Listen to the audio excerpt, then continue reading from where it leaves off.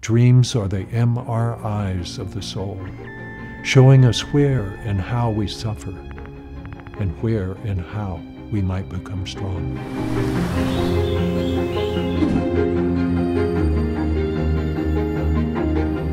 Time is running out for me. I have to talk about this. It's the dreams, the nightmares.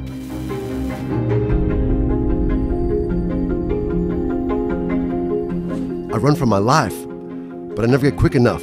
Have you asked why they're chasing you? I considered the soldier's behavior in his dreams.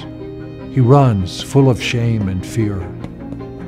There's no way to outrun your conscience, any more than you can get away from those Iraqi citizens chasing you.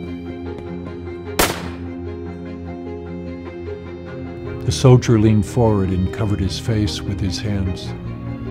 The confession had been an ordeal for him. He needed time to take in what he had just done. I came to see that it wasn't just the one moment that had affected me. It's my guilt that causes them to chase me. The frightening dreams were pushing him from the inside, not allowing him to cover over the psychic wound. He had finally faced his worst fear, the shame from which he had run. The nightmare stopped. The work of the dream was done.